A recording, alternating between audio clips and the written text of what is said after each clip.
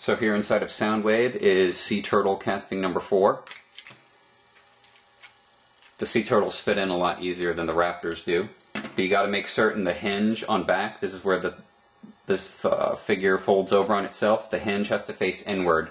The cassette part is what you have facing outward in order for him to fit inside of Soundwave.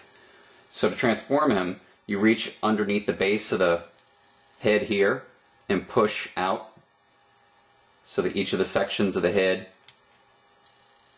fold out. Then you sandwich them together and reach to the back and pull out their two little nubs there that pull out to make the little tail. And then you flip out each of the little fins that he has.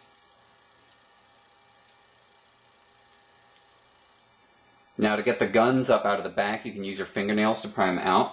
But for me, my fingernails aren't long enough, so I just use a little edge here just to pull them up. Pull them up, and there's his two guns sticking out of the back. then we attach the two shell parts. They go through the holes of the cassette.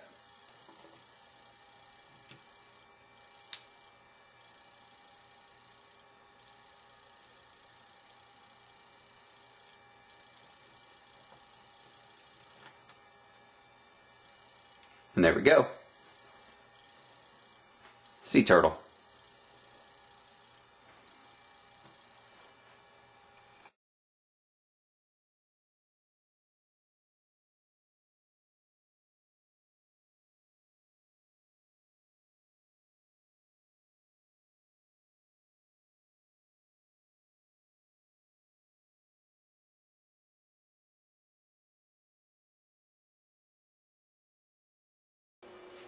Now once in a while you'll find yourself in a situation where the head for the sea turtle pops out.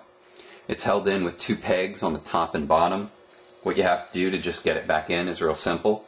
Using, using the top peg, align it with the hole of the cassette and stick it in there like this and then just bring it down so it's hold in place and then there it is back inside.